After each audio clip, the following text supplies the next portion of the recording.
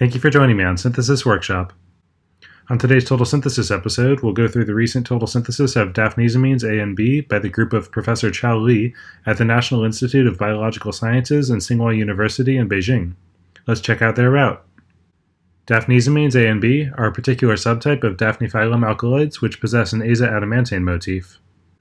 Aside from their structural complexity, they do possess some desirable biological activity in that daphnezomine B is cytotoxic against rodent lymphoma cells.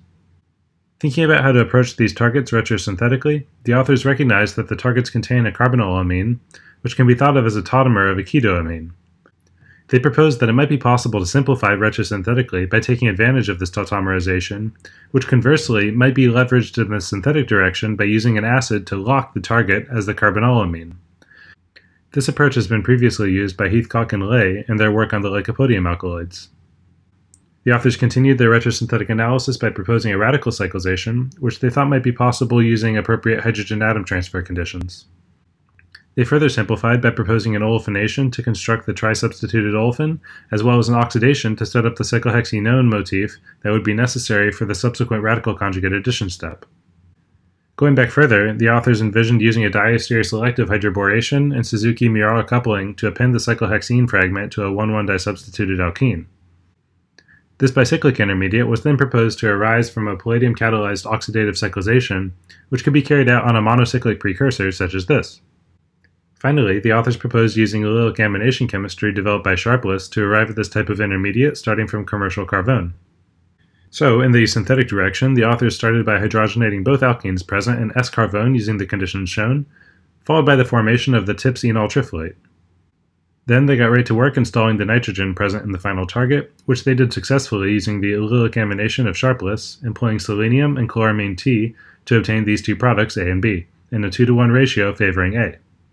This product mixture is presumably formed by the reaction of the enol silane starting material with a selenodiimide generated under the reaction conditions, which through an ene reaction provides this mixture of intermediates. A subsequent 2-3 sigmatropic rearrangement on each of these intermediates can lead to carbon-nitrogen bond formation, which, after a hydrolysis step, leads to the product shown. It's worth pointing out here that there has been some recent work published on a catalytic version of this type of allylic amination by the group of Forrest Michael in the last reference at the bottom. So, carrying on product A, they installed an allyl group on the nitrogen using sodium hydride and allyl bromide. That allylated intermediate was then used as a substrate in a palladium catalyzed oxidative cyclization, which provided this bicyclic product. We can understand this reaction pathway as being one that likely involves these types of intermediates, where a migratory insertion sets up the key carbon-carbon bond of the product, and a beta hydride elimination regenerates the olefin. Then, the authors protected the ketone as a bulky ketal before proceeding. Here, using the 9-BBN dimer, they carried out a diastereoselective hydroboration to set the stereochemistry at C6.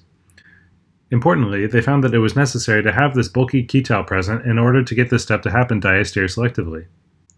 A subsequent boron alkyl Suzuki Miyaura cross coupling resulted in the successful attachment of the cyclohexene fragment.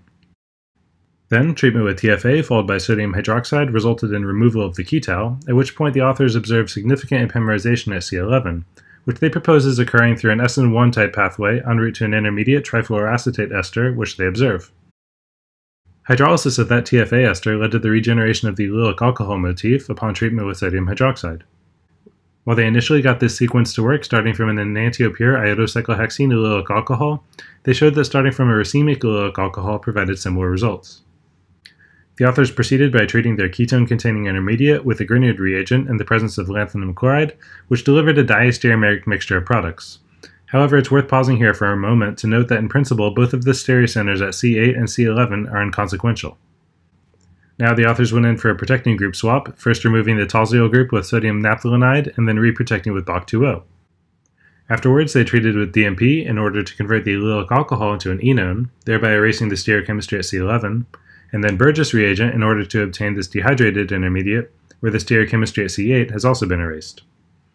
At this point, the authors utilized an oxoammonium reagent, Bobbitt salt, in order to convert the benzyl ether into a carboxylic acid.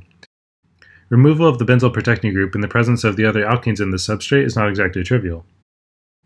Now, trimethylsilyl could be used to convert the carboxylic acid into a methyl ester, and TFA allowed removal of the Boc group. And here, having arrived at a point where several synthetic options might be investigated, the authors looked at lots of different approaches and finally identified conditions that allowed this ring closure to take place by turning to hydrogen atom transfer chemistry developed by Baran, Shenvi, and others. Applying the generally accepted mechanistic framework for this type of transformation, we expect that this is occurring by delivery of a hydrogen radical to the trisubstituted alkene, followed by a radical conjugate addition and one electron reduction to form an enolate that the authors proposed as quenched diastereomers selectively via a 1,5 proton transfer from the ammonium. Then, to finish off the synthesis, the authors used the ketoamine as a precursor for a carbinolamine by treating with TFA and methanol and water, arriving at daphnezomines A and B as their trifluoroacetate salts.